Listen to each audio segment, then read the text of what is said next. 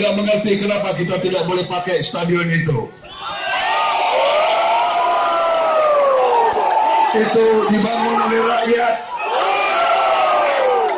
Kenapa kalau rakyat boleh politik tidak boleh?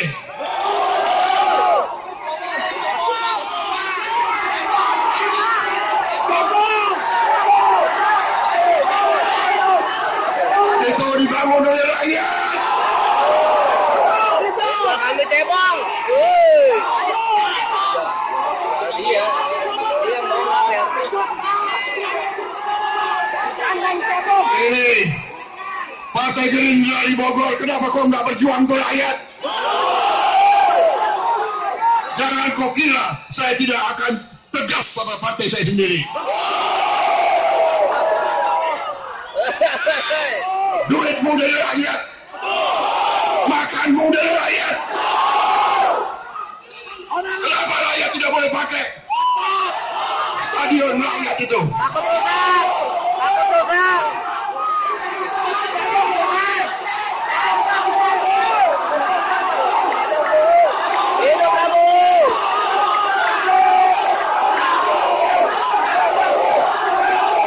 Tapi saudara-saudara tidak apa-apa. Saya tahu saudara desak-desakan.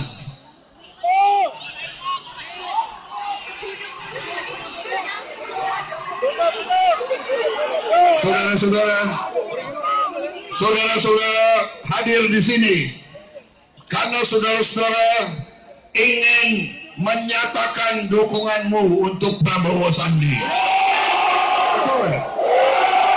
Karena kau ingin perubahan di negara ini. Karena kau tidak mau dibohong-bohongi lagi. Saudara-saudara sekalian, saya mau maju sebagai calon presiden Republik Indonesia untuk membela kepentingan kalian semua. Saya melihat negara ini dikuasai oleh elit-elit yang nggak punya hati untuk rakyat. Sudah terlalu lama mereka mengatur-atur. Mereka merekayasa. Tiap sore mereka duduk nyari akal lagi bagaimana kita menipu rakyat Indonesia. Mereka jadi kaya karena mereka menipu rakyat.